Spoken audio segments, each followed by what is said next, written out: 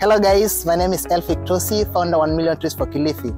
And today I'm a very happy person standing here because that on the 13th of November, which is on a Monday, there's been declared a public holiday. Cabinet Secretary Soipan Tuya noted that 30% of the tree seedlings will be fruit trees to boost the country's economy and create job opportunities. So the government intends to plant 500 million tree seedlings during the nationwide tree planting exercise on Monday.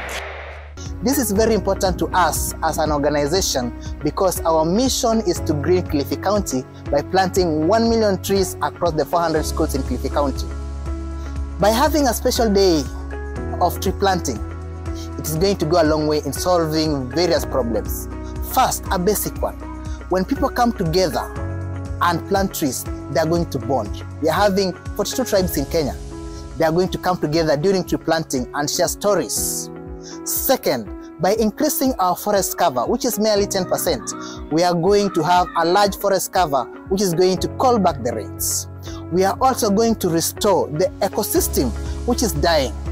We are also going to give the wildlife their homes. We always hear about wildlife-human conflict.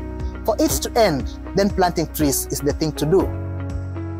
As 1 Million Trees, we are thrilled to invite you to a very wonderful event that is going to take place on 13th November 2023 at Butwani Park, Malindi.